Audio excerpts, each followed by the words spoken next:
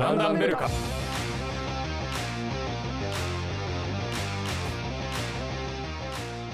こんにちは。今週のダンダンベルカは選手へのインタビューです。小動物系にも見える小針選手。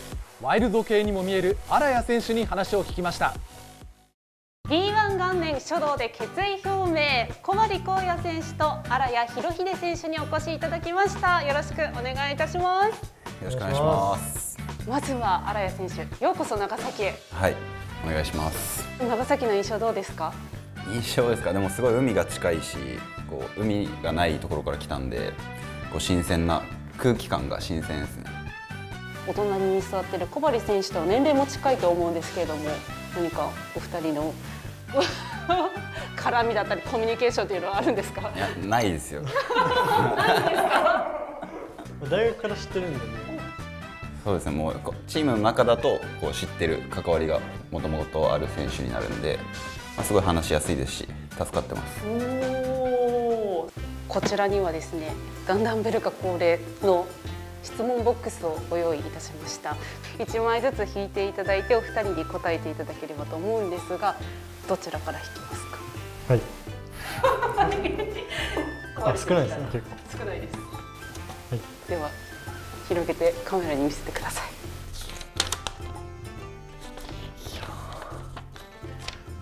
最近一番感動したこと。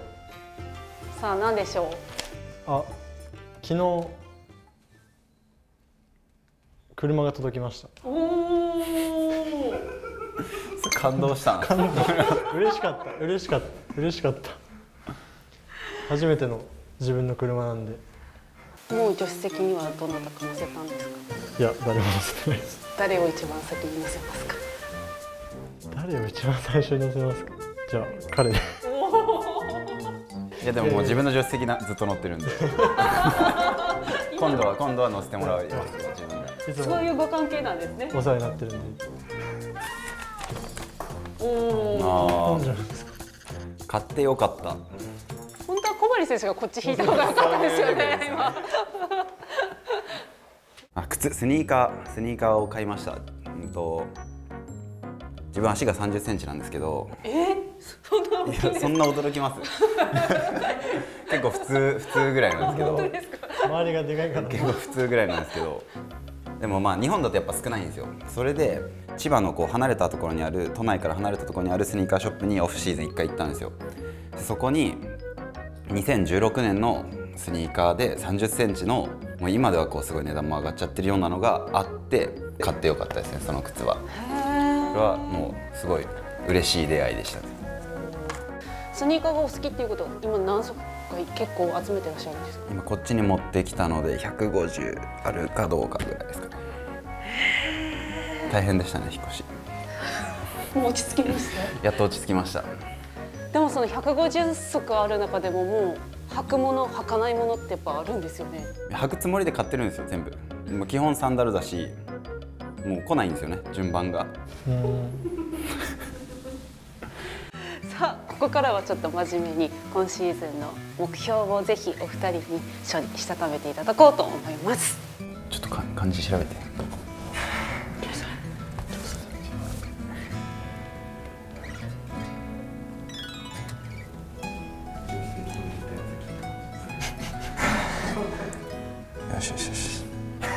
合ってました。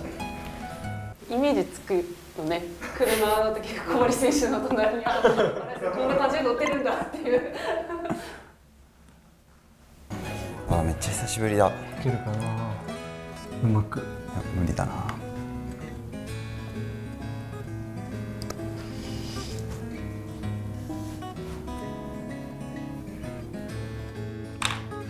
さあ書いていただきましたがどちらから見せますか？じゃあ自分から、はい。じゃあ荒谷選手お願いします。はい成長です。さあどうしてその言葉になさったんでしょうか？と今シーズン自分は自分のキャリアを通して初めての移籍だったので、まあ、こうこういう新しい土地だったりチームだったりでこう少しでも成長できる1年になればいいなと思ってこの感じにしました自分大学生から栃木だったんでもう7年ぐらい栃木住んでたんですごい不安というかこう新しい土地に行く。まあでも楽しみな気持ちの方が大きかったですかね。速い展開のバスケットっていうのはこう自分も見てて楽しいですしやってみたいと思ったのでそれに挑戦できるっていうのがすごい楽しみです。なななんて書いてあるの？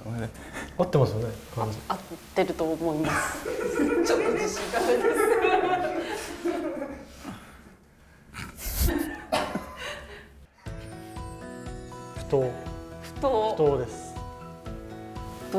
言葉を書いたんでしょうか？そうですね。まあチームとしても個人としても、まあ、自分は2月にプロの世界に来て、まあ、今までも困難だったり、まあ、いろんなことがあったんですけどやっぱりこれからはもっとレベルも上がってカテゴリーも上がってやっぱチーム的にも個人的にも大変な時期だったり苦しいことっていうのはたくさんあると思うんですけどやっぱそういうのが来てもひるまないだったり耐えたり、まあ、チーム全員でチーム力でしっかり頑張れるようにっていう意味を込めて不当にしました。